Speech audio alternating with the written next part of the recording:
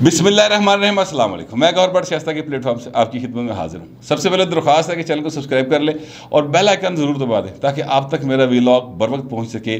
खबर यह है कि इमरान खान का साथ उसकी अपनी पार्टी के लोगों ने छोड़ दिया है और ये क्या मामला है इस पर मैं बात करूँगा। लेकिन उससे पहले मैं एक और बहुत अहम बात है जो आपके नोटिस में लाना चाहता हूँ। वो बात यह है कि जो अदलिया है, उसका किरदार बहुत ज़्यादा अहम है। पाकिस्तान में इंसानी हकूक़ के लिए, आइन की पासदारी के लिए आइन की सरबुलंदी के लिए, इंसाफ के लिए, ज़ाहिर इंसाफ के लिए आप अदालत को ले जाओगे तो किधर को जाओगे, ठीक है? वैसे तो इंसाफ इस माशरे के हर तबके में जो भी बासर अफराद हैं और जो भी सरकारी पोस्टिंग पे बैठे हैं, उनको इंसाफ करना चाहिए, कानून के तहत चलना चाहिए, लेकिन आज आके सारे का सारा जो ज़ोर है वो फिर अदलिया के ऊपर आ जाता है क्योंकि फैसला फाइनल अदलिया से होता है। उस पर ए, उनकी जो तकर्री है सुप्रीम कोर्ट ऑफ़ पाकिस्तान में जजेस की तकर्री के ऊपर सीरियस किस्म के सवाल जो हैं वो उठा दिए हैं। सुप्रीम कोर्ट के एक सीनियर तरीन जज जस्टिस काजी फाजिसा साहब ने और उन्होंने एक ख़त लिखा है और ख़त ज़ाहिर है पब्लिक हुआ है और पब्लिक हुआ है तो उस बात जो है ज़ाहिर है पब्लिक ही की आगे पहुँची थी फिर लोग गलां तो करेंगे। उन्होंने ये लिखा है कि जनाब ये जो है अपना सीनियर तरीन जजों को, जो कि ज़ाहिर है कि लाहौर हाई कोर्ट में सीनियर तरीन जज जो होता है, वो चीफ जस्टिस बन जाता है। बलोचिस्तान हाई कोर्ट में भी ऐसे होता है, सिंध हाई कोर्ट में भी ऐसे होता है, और इस्लाम उधर इस्लामाबाद हाई कोर्ट में भी ऐसे होता है, जो पेशावर हाई कोर्ट है, वहाँ पर भी ऐसे होता है। तो कहते हैं कि वहाँ से जो सीनियर तरीन जज, चीफ जस्टिस बनता है, उसको आप सुप्रीम कोर्ट में नहीं लेके आते। हालाँकि इसकी बड़ी स्ट्रॉन्ग रवायात मौजूद हैं कि पहले माजी में ऐसा होता रहा है, मगर अब नहीं लाया जा रहा।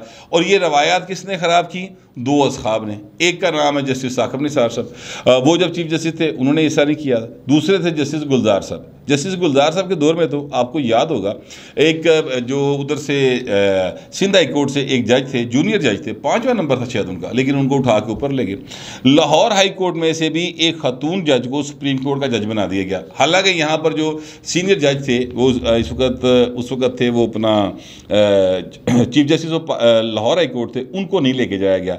ये जज साहबा जो गई हैं ऊपर, ये बड़ी इनका मतलब एहतराम है, इनका बहुत ज़्यादा, इसमें कोई शोए की बात नहीं कि वो बड़ी अच्छी जज हैं लेकिन बात जो हो रही है, वो सीनियरिटी की हो रही है। और सीनियरिटी के अतबार से जो है, उनका ऊपर जाना नहीं बनता था। काजी फाइजा साहब जो है ना, वो एक्चुअली ये बात कर रहे हैं। उन्होंने नाम नहीं लिया किस जज का कि किसको क्यों लाया गया। लेकिन वो कह रहे हैं कि ये तरीक़ेकार जो है ना, इसको वजह किया जाए, इसको तय किया जाए, इसके रूल्स बनाए जाएँगे किस तरह आएगा ऊपर, ताकि अपनी मर्ज़ी के जज तो ना लाए जाएँ। इससे अदलिया के ऊपर सवाल उठते हैं, उसकी जो इम्पार्शलिटी है गैर जानबदारी है, उसके ऊपर सवाल उठते हैं और वो अच्छी बात नहीं है इसलिए अच्छी बात नहीं है कि फिर लोगों को इंसाफ से यकीन उठ जाएगा। और उठा हुआ पाए ना ये भी वैसे। अभी भी आप यकीन करें कि पाकिस्तान के अंदर हालत ये है कि आपको एमरजेंसी की सूरत में, यानी आपको कोई बीमारी लाक हो जाए, खुदा ना खास्ता कोई एक्सीडेंट हो जाए तो हमारी हालत यह है कि सब लोग वहाँ पर डॉक्टर की सिफारिश ढूंढ रहे होते हैं। वहाँ पर वहाँ पर, A M S D M S M S की सिफारिश ढूंढ रहे होते हैं। ये हमारी रियासत की ग्राउंड रियलिटी है। अगर किसी को पुलिस में काम पड़ जाए, वहाँ पर सिफारिश ढूंढ रहे हैं। पिछले दिनों मुझे मेरे एक सहाफ़ी दोस्त ने ये बाकायदा तौर पे कहा, मेरा एक बड़ा करीबी दोस्त है, वकील है सुप्रीम कोर्ट का। उसने कहा कि यार, फलां जज जो है ना, वो उनके साथ प्रैक्टिस करते रहे हैं, इकट्ठे एक चैम्बर में रहे वो उनके पास हैं। तो यार, मेहरबानी करें कि आप ज़रा उनसे कह के तो मेरा केस है वो नौकरी की बहाली का तो यार वो हम वहाँ पर गए हैं तो मेहरबानी करने का यार सर अर्ली हेयरिंग कर लें तो मेहरबानी करें को फैसला दे दें। यानी उसने ये नहीं कहा कि मेरे हक फैसला दें ऐ नहीं क्या? कितने साल से अड़ा हुआ वो केस? अब आप ज़रा बात सुने तो बंदा परेशान हो जाता है। कम अज़ कम पाँच साल से अड़ा हुआ केस हेयरिंग नहीं हो रही, सर हेयरिंग नहीं हो रही। ये मैं अपर जुडिशरी की बात कर रहा हूँ लोअर जुडिशरी की बात नहीं कर रहा हायर जुडिशरी की बात कर रहा हूँ। तो इसकी सिफारिश करवाई जा रही थी। तो ये हालत हो जिस माशरे के अंदर इंसाफ की, वहाँ पर सर फिर कितने इंसाफ पाल दो मतलब वहाँ पर आम आदमी तो मायूसी की हालत नहीं होता ना? अच्छा वो मुझे याद आया इंसाफ से, वो चीफ जस्टिस थे इफ्तार मोहम्मद चौधरी साहब, पूरी कौम दर लगे भाजी बहाल कराया जी अवामी चीफ जस्टिस बनाया वो भाई साहब ना, अब मैं, मेरे मुँह में एक लफ्ज़ आया पंजाबी का, लेकिन मैं चले नहीं कहता ज़ाहिर चीफ जस्टिस रहे हैं पाकिस्तान के। मेरे शदीद तहफात थे वैसे उनकी बहाली के मामले के ऊपर, मैं इस पर आसमा जहांगीर साहबा के साथ एक दो इशूज़ के ऊपर मैंने इख्तलाफ किया था, मेरी ज़रूरत कोई नहीं थी। वो इतनी कदवर शख्सियत थी कि मैं उनके सामने खड़ा नहीं हो सकता था। मेरे जो, ये हौसला ही नहीं थी कि मैं, मगर मैंने अपनी जसारत की थी कि, बीबी मेरा ख्याल है ये बात, इस तरह नहीं, इस तरह। मगर उन्होंने नहीं मानी।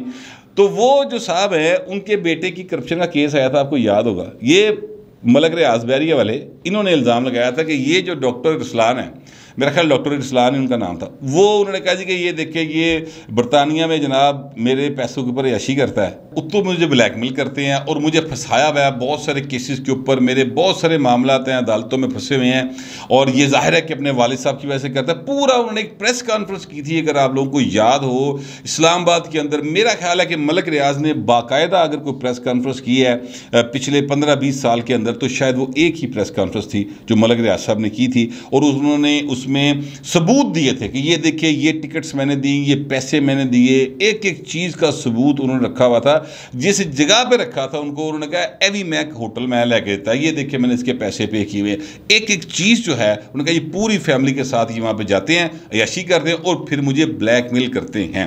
उस वक्त जो चीफ जस्टिस थे, वो इफ्तार मोहम्मद चौधरी साहब थे।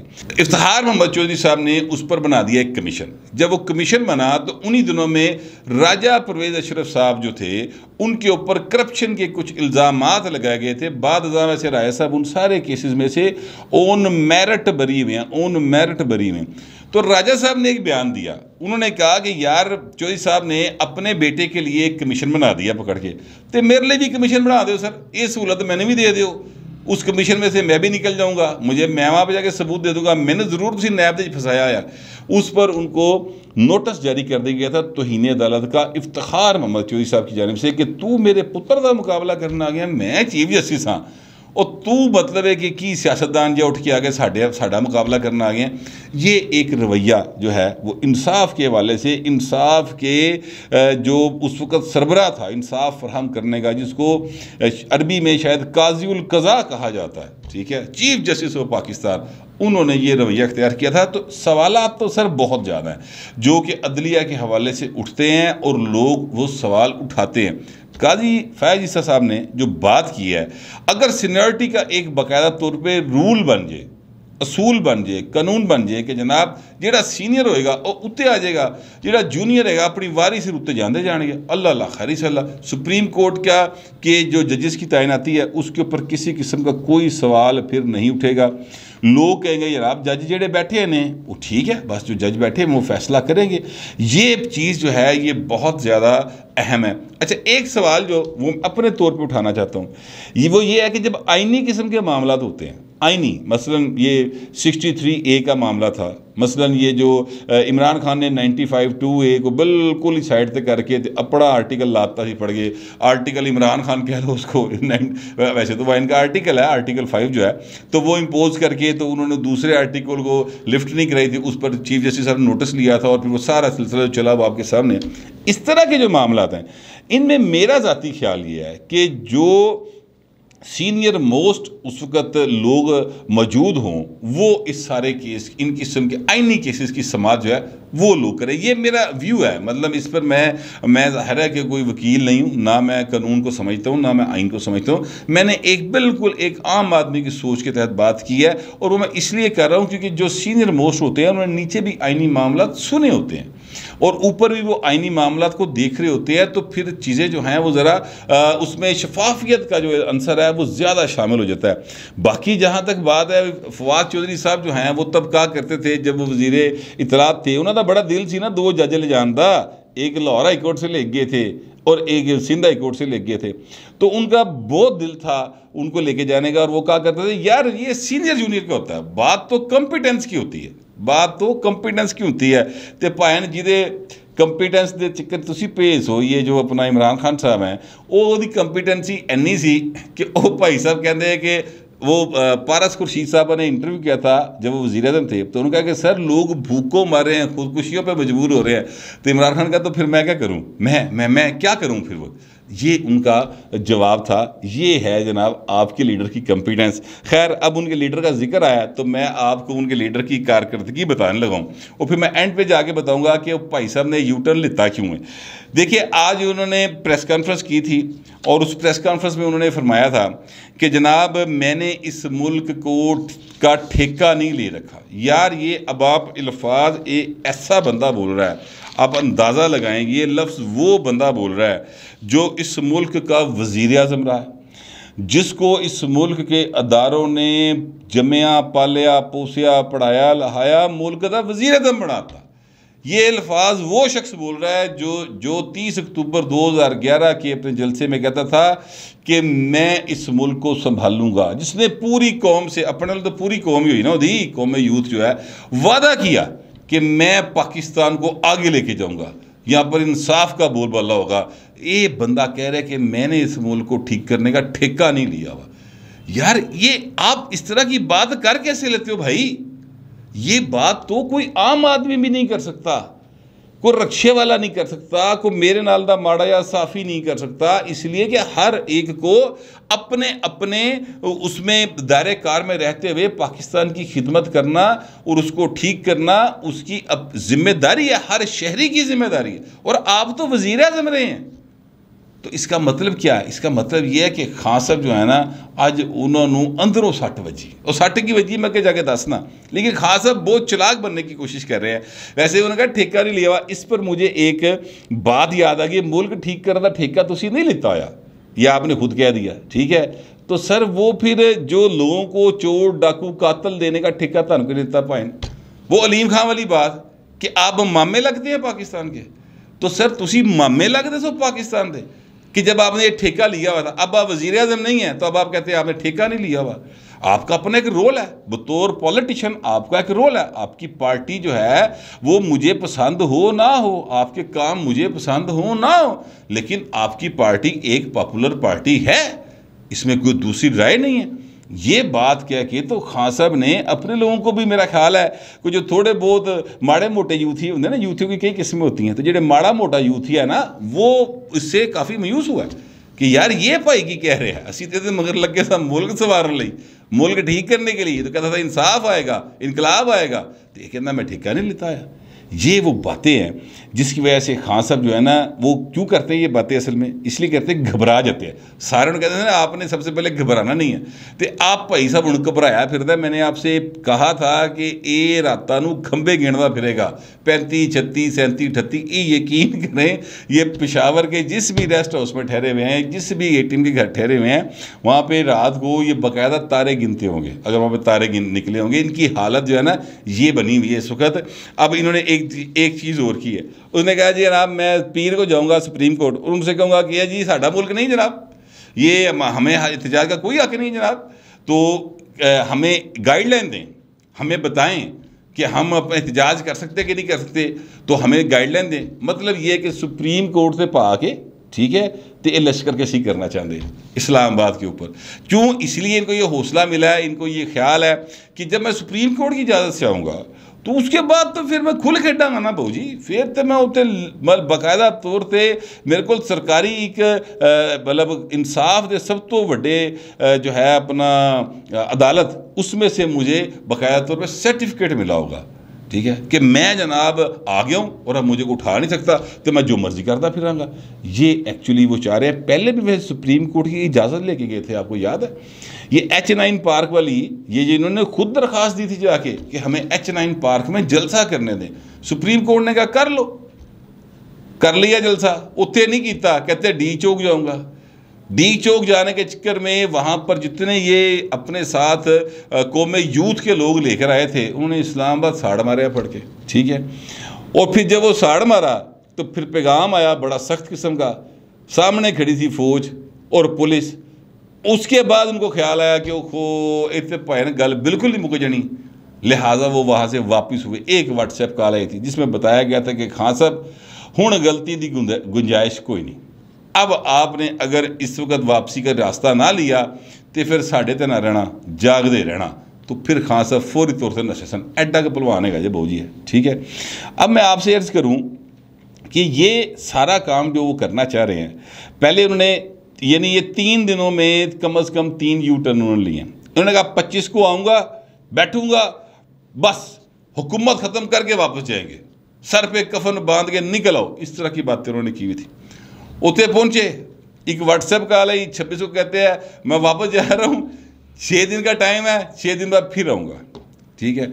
सताईस को फिर प्रेस कॉन्फ्रेंस की, ये दो दो यू टर्न हो गए। सताईस को प्रेस कॉन्फ्रेंस की, कहा कि जनाब, मैं इनको टाइम देता हूँ छः दिन के पास है छः दिन मेरे पास है, अदारे भी सोच लें, और ये भी सोच लें इस्टेब्लिशमेंट भी सोच ले, और हमें जो है ना, तारीख दे दें तो जून के महीने में तो गल ख़त्म हो जाएगी।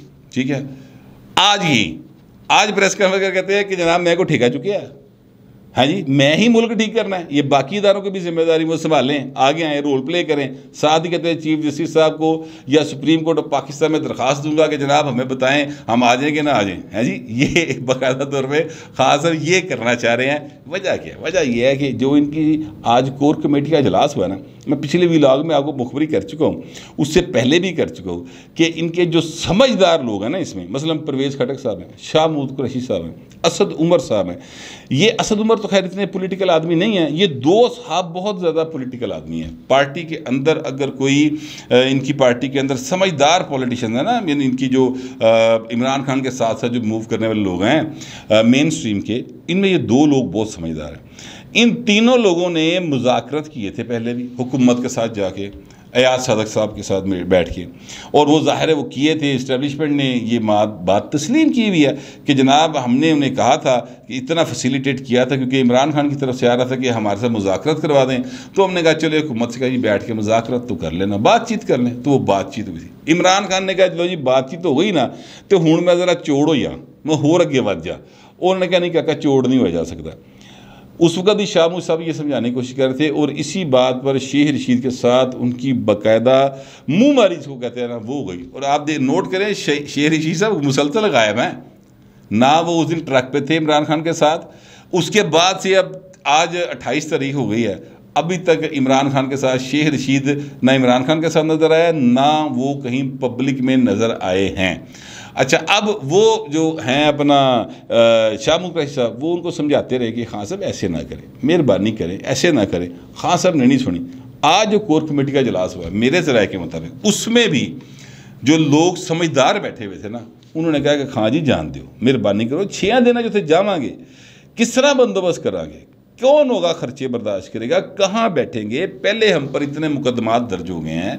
लोग अब डरे पड़े हैं, नहीं निकलेंगे, मेहरबानी करें। मतलब आप कोई राह कटो मतलब गल अगे लैके जाओ बहू जी इस तरह ना करो। बजट भी पेश होना है और इस्टेब्लिशमेंट सानू बाह नहीं फड़ा रही। पहले हम इतने यूटर्न ले चुके हैं तो इस तरह ना करें। यानी तरीके के साथ खास को कहा गया कि बहू जी, फिर जाना जे तो कल ही जाना जे साढ़े जो किसी ने नाल नहीं जाना।